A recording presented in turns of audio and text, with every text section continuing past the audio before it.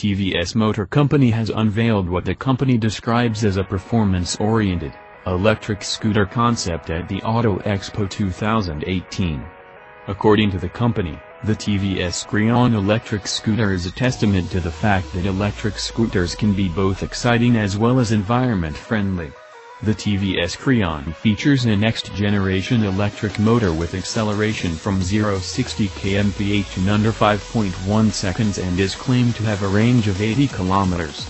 The battery can be charged to 80% capacity in just 60 minutes. The TVS Creon is powered by three lithium-ion batteries capable of delivering 12 kilowatts of instantaneous power. The compact batteries ensure high charge per volume of battery and has helped keep the dimensions of the Creon compact. TVS has tied up with Intel to develop a range of smart connected technologies for energy-efficient two-wheelers. The recently launched TVS Ntorq 125 has an internal combustion engine, but boasts of being India's first smart connected scooter.